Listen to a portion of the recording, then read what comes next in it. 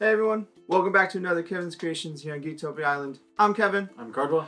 and we're back bringing you a new fan fun deck with the new Stranger guys. We're gonna see what it can do, and it's with our girl Faria. It is called Bushido Blade, Yep. and it's gonna be awesome. But before we get into it, we just remind everybody that we do have a Patreon. The link will be down below. Go check it out, see what you like, see what you don't like. Show us an extra little bit of support, it'd be greatly appreciated. With that, let's delve into Bushido Blade and let's see what it can do. Yep. So first up, we got our girl Faria. For those that don't know, she's the new Stranger Ruler, the starter deck, the white blue one. Uh, Stranger Rule 10, you begin with a Stranger deck of 10 cards, and you can only have two copies of each Stranger in it. Yep. And you can pay Judgment, which is two white and blue to Judgment, or Energize, she's just white or blue. And then her main ability on the front side, when a light regalia enters the field under your control, choose one. If it's Excalibur, you choose two instead. But you can choose from a stranger deck at random card, so you put a, a random dude from your stranger deck in your hand, destroy target rested resonator, draw a card, or pay zero for judgment. So she's got four different abilities that you get to choose from to do whatever you want to do. Whatever whatever fits you best. And most of the time it's gonna be destroying a resonator and, and or getting a stranger. Yeah. Because we have all the regalias. Yeah, yeah. And she judgments into a 10-10 with precision. And enter, you choose a card from your stranger deck at random and put it in your field. So you get a free dude. Yep. And then God's Art is a white and a blue. This card gets plus four, plus four, drain eternal until the end of turn. Choose a card from your stranger deck at random and put it into your hand. Yep. So her God's Art is there to just protect her, like to give her plus four, plus four, and eternal. Really, you get extra benefit of drain, but Yep. it's there to protect her. And then her stranger deck is pretty crazy because we're, we're playing we're playing as many colors as I can in this. Yeah. It's pretty pretty simple. And with all the new stones, is yeah, why not, right? Yeah. Uh, so we got two Azazels, the burn the blazing charger, which he is a red black, Really good. and resonator you control gets swiftness. Whenever resonator you control is put into the graveyard from the field, this card deals 200 damage to target player or J resonator. Pay red, target J or resonator must attack or block this turn. Yep. Do you get to force attacks and blocks how you want them, which is well not necessarily how you want them, but you get to force them. It's it's useful. Yeah. You're like, hey, you want to stay home? No, come here. Next up is Shade. A black and one for a 6-6 stranger. He's got Bane, and he enters, your opponent banishes a resonator. Yeah. And when this card is put in the graveyard from the field, your opponent banishes a resonator. So- Double value. So he can essentially kill three dudes. Yeah. Pretty pretty wild. But it is what it is. Next up is one of the best strangers I've seen Yeah. actually. He is White Wizard. He's one white for a 5-7 with Drain. Prevent all damage that will be dealt to resonators with 1-1 counters on them by chants and abilities. Enter, distribute two 1-1 counters on up to two target J resonators you control. Yeah. So, So- he just helps you get around burn. Burn and also the priest that priestess priestess that always you know targets the dudes. Like nope, no, thank you. And yeah, it's it's kind of ridiculous. Yeah. Uh, next up is Cu Chulainn. He is two red and one black for a 10-10 with first strike and bane. And he gets swiftness and precision if your life is 2,000 or less. Jesus. and then whenever this card attacks, your opponent discards a card. So he's just there to help get damage in. Yeah, First strike and bane is the most difficult combo to fight against for sure. Yeah, for sure. Uh, next up, stranger we have is Ishtar, the great goddess of kindness. Two white and two blue for a 10-10. And enters, you put a non-stranger resonator from your graveyard into play. Yep. So she just gets you back one of your actual dudes. And the last guy I have is Arthur, the King of Knights. He's two white and a blue for a 10-10 with precision and first strike. Other knights of the round table you control gain eternal. And enter, you may search your deck for a knight of the round table and put it into the field. Yep. So he's he's literally in here for one card for the enter trigger, but his other ability works for another card. Yeah. So we'll go over all that and you'll see why he's here. But uh, There's tiny synergistic wombo combos. Yeah. In this deck. and I really only had one of them because you don't need Yeah. like he's there for that one combo and it's not really that great. It is, but it's not. yeah. So I'm not gonna focus on him that hard. But that is it for the strangers. It's full ten. It's just it's it's wild. Well, well, all right. We'll go, go ahead and get into the resonators here. We have Lamrak, Lemorak. I'm assuming that's what it is. Yeah. Strange name. Blue and a white, 6 6. Knight of the Round Table. This card gains plus 2 plus 2 and drain as long as you control a regalia. And then your regalias you control have barrier. So she's the card you go get with Knight with uh you know, Arthur. Oh, yeah. Okay, cool.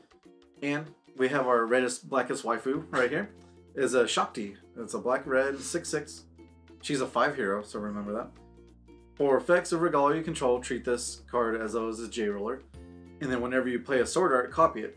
You may choose new copy two new targets for the copies, and that is one of the strongest abilities ever, Yeah, for sure. She just auto copies spells, which Yeah. is kind of ridiculous. Next up is Hitomatano-Orochi, the pet of Lenneth. It is a red and a white for a 2 2 with barrier. So it can't be targeted, which is awesome. Uh, you pay a red and a white, put two on counters on this card. If you control a Regalia, you put four on it instead. This card gains precision as long as there are eight or more counters, and this card gains eternal and pierce as long as there are 20 or more counters. So just if you have extra mana at the end of turn, you're just like put more counters on him. And if you get a white wizard in play, damage can't be dealt to him either. Yeah. So pretty good. And if you have the red white uh, Regalia, then it's like free mana. Yeah. Free pumps for. Then it's free pumps for him. Next up is the Traveler in Wonderland. Is two white and a blue for an 8-8 quick cast. Your J ruler gains barrier, so Shakti gains barrier and your J ruler. Yeah. And then enter, you rest target J Resonator, so she enters and taps a dude. You can pay zero, choose a race. Resonators you control gain the chosen race until the end of turn. Play this ability only once per turn. Or only on, yeah, only once per turn. So you can make your dudes whatever you need to make them, which Yep. most of the time in this deck you're going to make them a 5 hero. And if anything, if not, yeah, yeah, then, then that's pretty much what it does because of all the bonuses. Because of this guy's Lars, Knight of the Sacred Spirit, two white and blue. It's an 8 8 5 hero. It has Drain and First Strike, super good. Prevent the first damage that would be dealt to five heroes you control each turn. So if you pay zero, all your dudes have five heroes, then you just swing in and kill their board or whatever you need to. And then you may pay the attribute cost of five hero cards with Light Will, which the only one that happens in the hand is Shakti. Yeah. So if you get mana screwed somehow, which will happen during our brawl for sure, then uh, she'll be able to get cast. Yeah, pretty much. And now with the, of course, one of the first powerful sword arts is opening the red eyes. It's a black red quick cast. Uh, target J- resonator gains plus seven plus seven precision and first strike until end of turn. If it's Shakti, uh, puts seven one one counters on it and gains precision, first strike, and eternal until end of turn instead. And so when you copy it, because it's just one spell for two mana, you have a 14 14 plus on your Shakti. Yeah, and Eternal. Yeah, It's, so- it, it gets gross. It's extremely gross and crazy. yeah. All right, first regalia is a Laevateinn. Hmm. It's a black and a red. It's spelled weird and it freaked me out. All right, of course it's mythic, so mythic you can only have one on the field at uh, uh, any time. Your J ruler gains swiftness. Uh, that's goes with Shakti. Tap produce two wheels of any combination of red and black. Spin this only to play God's Arts, Strangers, or Sword Arts. Yeah. So we're just we're just playing Regalias and making Shakti even better than she already is. And if you get Faria flip, then she gets to be awesome too. Yeah, exactly. And then these next two ones will trigger Faria's front side. Yeah. First one is Excalibur, of course, is blue and white. Has Mythic as well. Your J ruler gains plus four plus four, so it goes to Shakti. Solid. And then tap produce two wheels, of a combination of white and blue. Spin this for God's Art, Strangers, and Sword Art. The next Regalia we have is Caduceus. It is white and red with Mythic. Your J ruler gains Drain. So Shakti and Fair Faria get Drain. And then you produce two wheels of any combination of white or red. Spin this only to play Strangers, Mage Arts, or 12 or activate abilities of 12 DUDs. So Yep. your little snake, you can use this to tap for its ability. Yep. Which is pretty handy. Yeah, which is super cute. All right, now the rest of the spells are sword arts, so this goes with the two regalias they have, which really works. Mm-hmm. Sacred Wave Blade. It's a blue and a white quick cast. Remove target target resonator or addition from the game. This card was awakened. Choose a card from your stranger deck at random and put it in your hand. And awakening cost is one white. So kill spell and get it, dude. Yeah. Sounds good. And if you copy a Shakti, then you just get all the strangers and Yeah. all the dudes. The thing is with these sword arts is they're extremely powerful to, for two will. Yeah. And it's insane. And you don't have to awaken them. You can just pay to kill a dude, which is sometimes you need to do it. yeah, just exactly. a thing. just like this one, Bloody Break. Black and a red quick cast uh, sword art. Destroy target J resonator, which is super powerful. Solid. For two, if this card was awakened, choose a card from a stranger and put it random in your hand.